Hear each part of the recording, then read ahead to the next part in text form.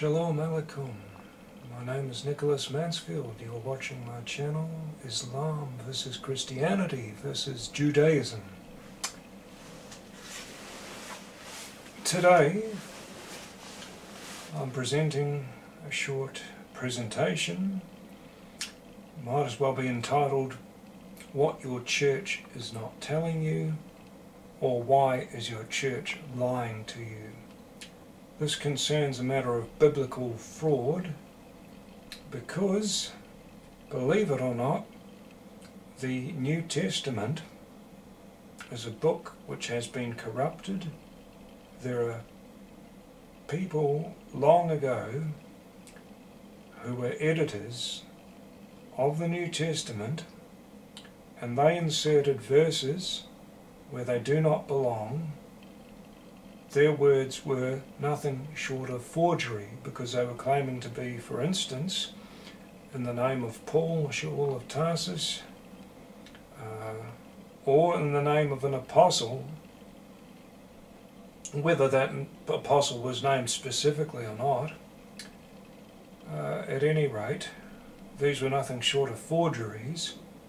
We shall look uh, for an example biblical forgery, we'll look at 1 Corinthians uh, chapter 14, verses 34 to 35. Let's see if they send the same message from the same author, or if they're not the same message, what are we considering? A, a, an author with a split personality? Let's let's turn to our Bibles. Whatever you've got, open it up. It'll read more or less the same. It reads, Let the women keep silent in the churches, for they are not allowed to speak. Instead, they must, as the law says, be in subordination. If they wish to learn something, let them inquire of their own husbands at home, for it is improper for a woman to speak in church. Now, the first thing we note about this passage is that it refers to the law. We assume it must be referring to Torah. Um, you know, this is what Paul always referred to. Now, it is true that the law says women are to be in subordination, but the law also says that there was a prophetess named Miriam, the sister of Aaron and Moses, who certainly did speak before Israel and the entire nation. So, this is rather contrary to the law. Let us see uh, what Paul has to say earlier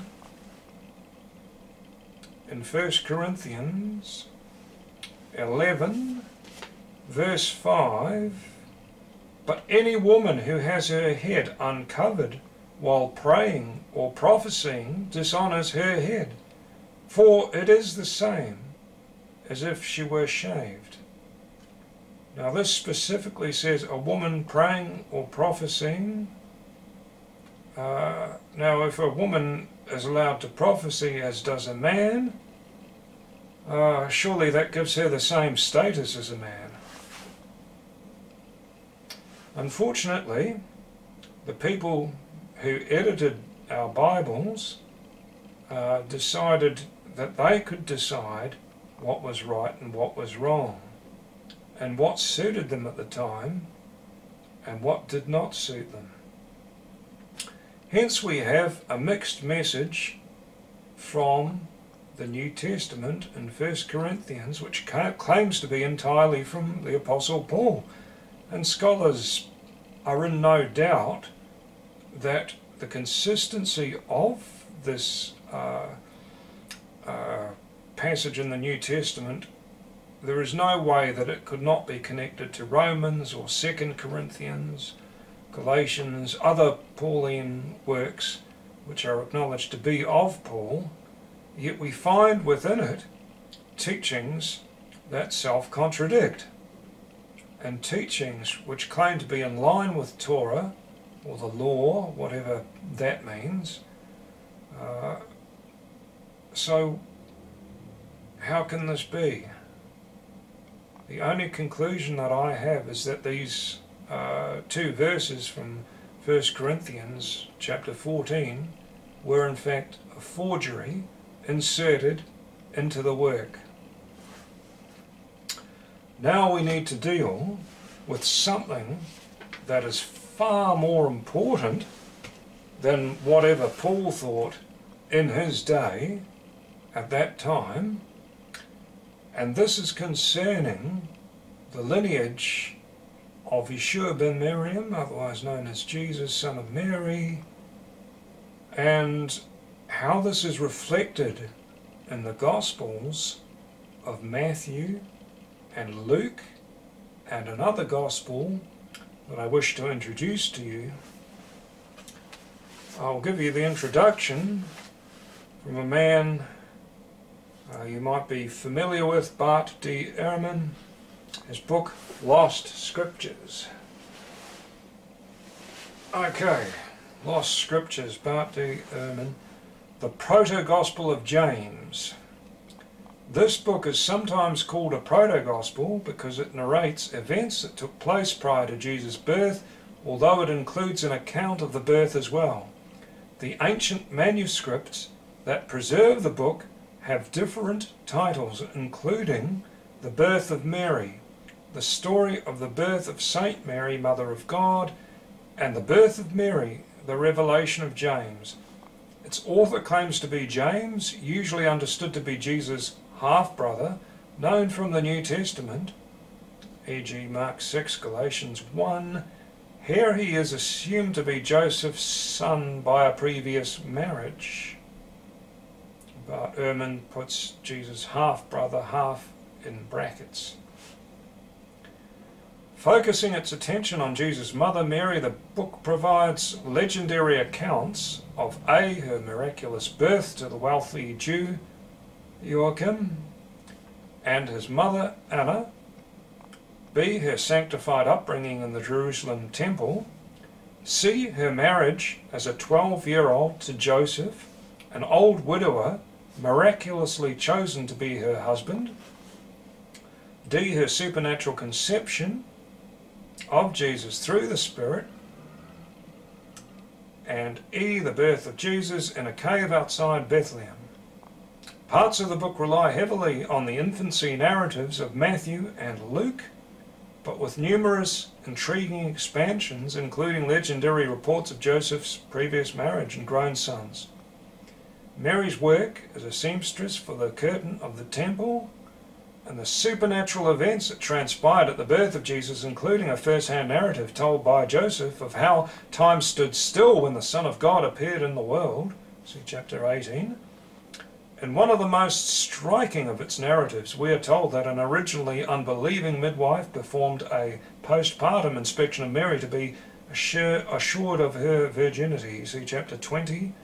Since the book was already known to the church father Origen in the early 3rd century and probably uh, to Clement of Alexandria at the end of the 2nd, it must have been in circulation soon after 150 CE. The book was enormously popular in later centuries and played a significant role in pictorial art of the Middle Ages.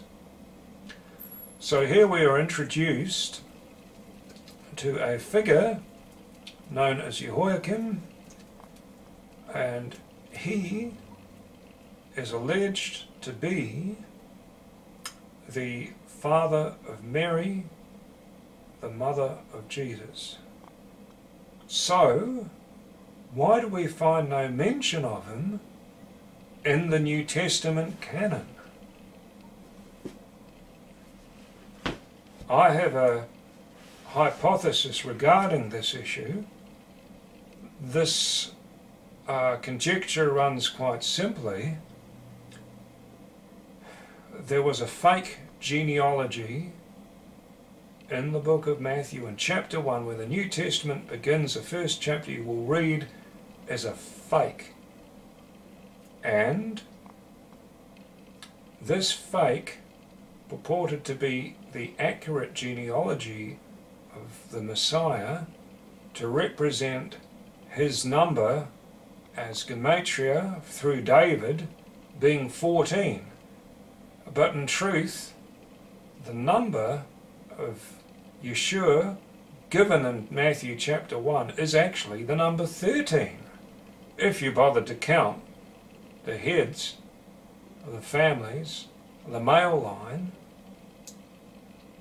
So, how did this come to be? It could be a case of pious fraud, uh, trying to make things look like they weren't to suit the numerology in the line of David by the name of David. Uh, but what we ended up with was something contradicting uh, your Bible. Uh, so, therefore, I have put up uh, an accurate representation of. Da, da, da, this is how Matthew should have read. So, I'll put that at the start of the video. I should uh, like you to have a good look at it because it doesn't fit on the screen nicely. But I will go over that in my succeeding lecture and the name Jehoiakim will be placed where it should be placed between Jacob and Joseph and Mary and you will see that there is a reason why this genealogy works when it is accurately represented, uh, but the authors of the additions to Matthew's writings, which became the Greek Gospel of Matthew, uh, these were not people who were honest. They were dishonest people. They were out to deceive. They had a message but their research uh, was not up to the same specification as those who instigated the writings and those who sought to preserve the writings in the first instance and those who received the writings have sent you a corrupted Bible by their own additions and their own uh, whittling down of the writings and sometimes by mistranslation. So, Matthew has a genealogy, and the canon, the Greek texts, the standardized Greek text that the critical scholars have approved, is corrupted. Uh, what happens if we turn to the genealogy of Luke? Luke, in the start of his gospel, uh, presents Yeshua as uh, a probable relation to Aaron, which was a critical uh, matter for establishing the lineage of the Messiah because he had to be descended from David through Solomon, but also a descendant through Aaron's house, which meant that he was destined to be uh, potentially both king and priest, although he could have been just either one of them. If you turn to the Tanakh, you will find the truth there. I'm not, I don't really have time to present all of that right now. What I will read is uh, this section of Luke and how it should read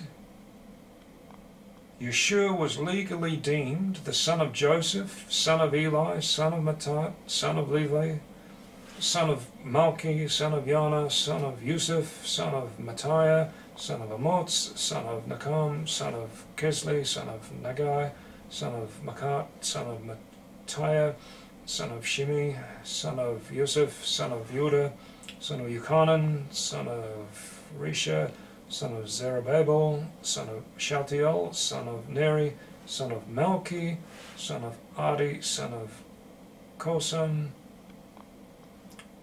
son of Almadan, son of Er, son of Yehoshua, son of Eliezer, son of Joram, son of Matat, son of Levi, son of Shimon, son of Yehuda, son of Yusuf, son of Yonam, son of Eliakim, son of Mala, son of Mana, son of Matata, son of Nathan, son of King David, son of Yishe, son of Obed, son of Boaz, son of Salmon, son of Nachshon, son of Aminadab, son of Ram, son of Hezron, son of Peretz, son of Judah, son of Jacob, son of Yitzhak, son of Abraham, son of Terach, son of Nacha, son of Sharach, son of Rehu, son of Peleg, son of Abba, son of Shilach, son of Arphaxad, a son of Shem, a son of Noah, son of Lamech, son of Methuselah, son of Enoch, son of Yared, son of Mahalalel, son of Cainan, son of Enosh, son of Set,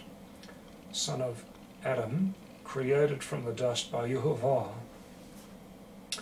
Now this reads very slightly differently to the actual canonical reading because there is an erroneous repetition according to the Masoretic and Samaritan Torahs of the name Cainan or Kenan as a later descendant. And I have eliminated this from the reading. Now, according to the Septuagint, the canonical Al source uh, reads correctly, but Gill's exposition of the entire Bible goes so far as to read thus, which was the son of Cainan. This Cainan is not mentioned by Moses in Genesis 11:12, nor has he ever appeared in any Hebrew copy of the Old Testament, nor in the Samaritan version, nor in the Targum, nor is he mentioned by Josephus, nor in 1 Chronicles 1.24 where the genealogy is repeated, nor is it in Beza's most ancient Greek copy of Luke. That's talking about Codex Bezae. It indeed stands in the present copies of the Septuagint, but was not originally there. Therefore could not be taken by Luke from thence, but seems to be owing to some early negligent transcriber of Luke's Gospel, and since put into the Septuagint to give it authority. I say early because it is in many Greek copies, and in the Vulgate, Latin, and all the Oriental versions, even in the Syriac, the oldest of them but ought not to stand, neither in the text nor in any version, for certain it is, there never was such a Cainan, the son of a Arphaxad, for Salah was his son. And with him the next words should be connected, which was the son of Arphaxad, uh, Genesis 11:12, which was the son of Sem or Shem, Genesis 11:10, which was the son of Noah or Noach, Genesis 5:32, which was the son of Lamech, etc. So these are the words from Gill's exposition of the entire Bible, and they are saying that yes, there is an issue with even Luke's genealogy, and what happened was that instead of changing the genealogy of Luke, they altered the Septuagint, and the Septuagint is where a lot of the Greek gospel uh, sources are drawn. They're not necessarily drawn from the Masoretic text. In fact, they're usually altered in line with the Greek reading from the Septuagint. So, what the uh, editors did of the early Christian churches is that they altered the Greek Bible, the Greek uh, Septuagint, which was the Greek Old Testament, and they altered it. It's plain to see, and even uh, the biblical uh, scholars from some centuries back acknowledged this. So it's not just me telling you, it's not just me saying that the Bible has been corrupted, and here are the uh, examples. Unfortunately, there is a general consensus among critical scholars going back from centuries ago till now that yes, the Bible has been corrupted, and no, the Bible of the New Testament has not been changed to correct the old errors and the old additions by unscrupulous editors. So, what we are dealing with is a case of biblical fraud and wholesale biblical fraud because it is found throughout the New Testament that people have added things and changed things. I'm not trying to shake anybody's faith in Yeshua as Messiah or the Bible as a whole, but I am trying to bring people back to reality here of where you find a contradiction, then you must reconcile the contradiction with the text. It's not an easy thing to do, and it's not an easy thing to accept that you've been lied to, that your church is lying to you. It's not an easy thing. But these things have come about by tradition, or going back in history, these texts were altered and then they became an established text in the edited version of what we now know to be a Bible. And this is why you will find many differences in Bibles between the Old and the New Testaments, as they are often called. My follow-up lecture presentation, I will present uh, the full genealogy of Matthew uh, based on the Tanakh and the Gospel sources and will align with what I've outlined here at the start and in the middle.